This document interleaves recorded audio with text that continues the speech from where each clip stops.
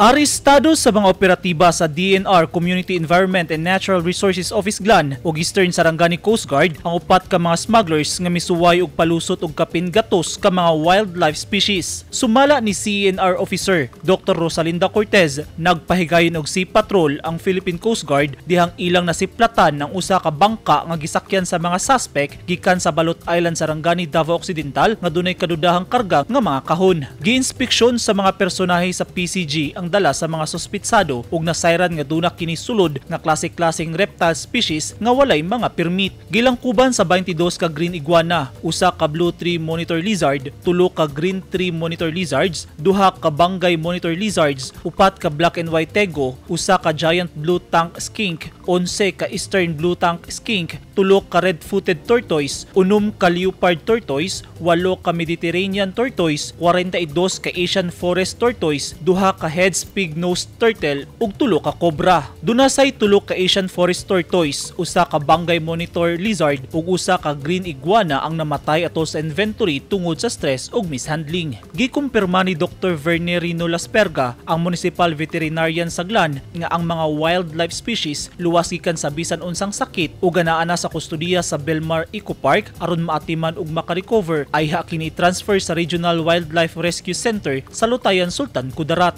Gilubong dayon ang lima ka mga mananap nga namatay. Ubos sa Republic Act 9147 kun Wildlife Conservation and Protection Act of 2000 ginadili ang pagpatay, pagpanakit, pagkolekta, pagbaligya o pagtransport sa bisan unsang klase sa wildlife species nga walay igong permit pwedeng masilutan. Gikustodiya na sa mga otoridad ang upat ka mga wildlife smugglers. Eugene Hinutan, Newsline Philippines. Stay safe!